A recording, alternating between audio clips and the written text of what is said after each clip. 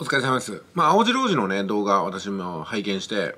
やっぱりいいことを言うなっていうか、これが、まあ、いわゆる製品を作ることをメインにした、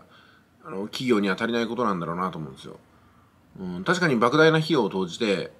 まあ、製品をね、作っている。でも、すみません。今はね、製品では差がつかないと思います。まあ、昔からそうだったんでしょうけど、昔は、広告が独占されていたんで、お金のあるところが広告を出して、そこがマーケットを独占したんですよ。でも今は無料で広告が出せる時代なんで、YouTube とかね、ブログを中心に。そうすると、知らせ方が上手な人が結局は、あの、ほとんど差のない商品を売ってるんですよね。で、商品を作る方はもう専門の知識を使ってものすごくね、深掘りしたものを作って、どれもこれもいいと思うんですよ。でも消費者はその良さには全くわかりません。ですんで、自分の状態がどうなるのかってことが、分かりやすいものに、まあ、手を、ね、伸ばしていく。で、注文するまでに手間がかかるやつはダメなんですよ、やっぱりね。でも、注文させる方としては、もう、なんていうのかな、まあ、昔の手続きそのままなんですよね。だったら、まあ、アマゾンのアカウント持ってる方だったら、そこのアカウントでさささと買いますようにしといたりとかね。それから、まあ、青白王子が言ってたのは、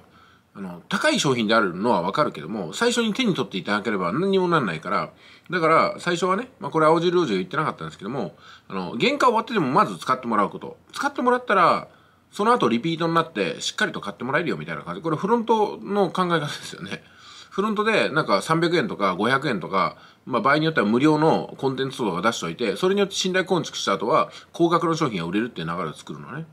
だから最初から採算取ろうと思ってるんですよ。最初にお客さんが手に取っていただける商品の中で損はしないぞと思ってるわけですよ。これは YouTube で例えると、商品の販売だけしてるって感じですよね。うん、動画作るんだから元は取んないとみたいなね。でもそうじゃないです。1万本作った中で元を取ればいいんじゃないかなと。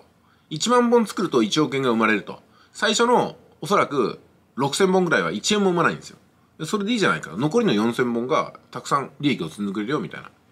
そう考えていくと、例えば動画のリレーを100本するときに90本までは1個も売れなくていいんですよ。その代わり、そぎ落とした最終的な視聴者さん、ファンだけが残りの10話で買ってくれるみたいなね。そんな攻め方だろうなと思います。ですんで、この前もね、ちょっと相談を受けたんですけども、あの、チャンネル登録が10万人ぐらいいる、あの、VTuber さんからの相談なんですよ。10万人のチャンネル登録がいるんだけども、ライブをすると、なんか同時接続がね、300人しかいないんだと。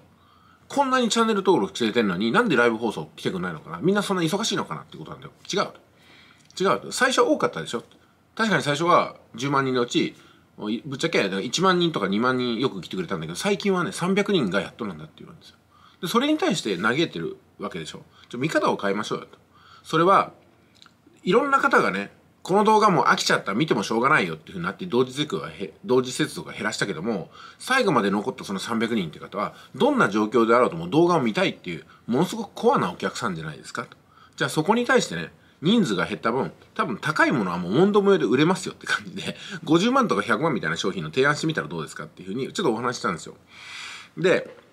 以前その方は、あのー、視聴者さんが結構ね、何千人とかね、1万人前後来てる時は、300円とか500円の商品を売ってたらしいんですよ。それで売り上げがバシッと作れてたんですけども、人数が少なくなったらとてもじゃないけども、300円とか500円の ,500 円のじゃやってられないんで、あの、1000円とか、場合によっては1万円の商品作ろうかなっていうご相談もあったんですよ。違うと。それだけ人数が減ったんだったら、ぶっちゃけね、30万、50万、場合によっては100万がポンポン売れますよ、その人たちに。っていうのを話したんですよ。えーとか言ってましたけども、じゃあ、仮に商品作らなくてもいいから、実はね、ちょっと高額な商品があるんですけども、その内容が知りたい方はメールくださいみたいなことで、お話してみたらどうですかっていうふうにしてるんですよ。で、おそらく10人ぐらいから、ね、もっと言ったら30人ぐらいから問い合わせあるんじゃないかなと思うんですよ。どんなものなんですかってこれ聞かれると思うんですよね。っていうことはその聞いた人っていうのはほとんど買う人じゃないかなっていうふうに私は考えるんですけどね。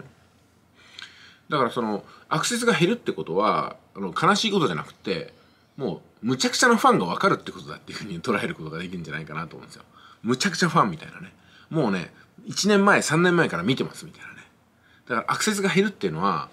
あの、一定の確率で売れることはなくなってくるけども、強い確率で、高い確率でリピートが起きるってことなんだろうなというふうにね、判断するんですよね。うん、なんだっけな、タイトル。タイトルなんだったか忘れちゃいましたね。ランディングページにしておきましょうか。LP、いってらっしゃい。